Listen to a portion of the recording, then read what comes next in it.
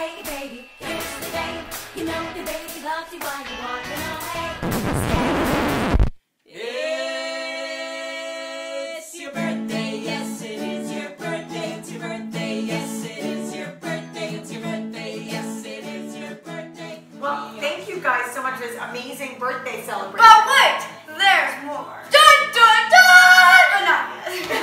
I have been given so many amazing gifts. Obviously, you four are the best gifts of my whole life.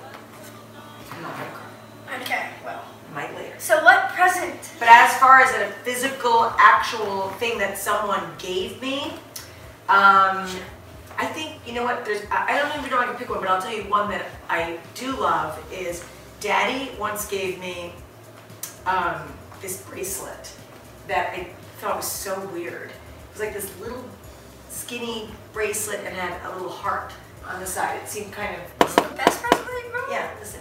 So it seemed kind of juvenile to me, and I and I was like, okay, like it's something you give like a 13 year old.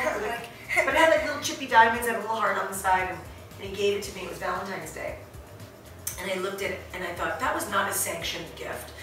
And he handed it to me and he goes, so I remember my very first girlfriend.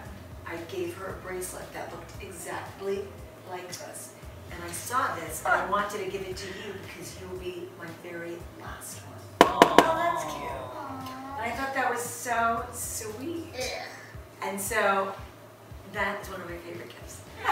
Are we going downstairs to celebrate? No, not yet. You'll just have to wait. Okay, well, I'm super excited. I love you guys very much.